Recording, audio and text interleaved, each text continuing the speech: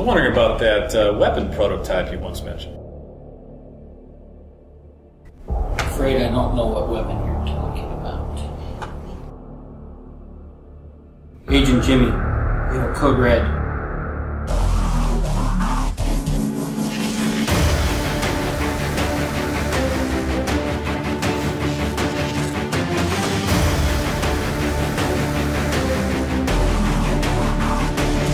Goldman has a file in his office on some agent. Go retrieve it.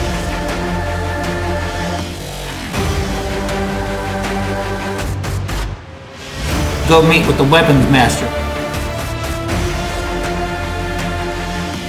I need you over here. Stat.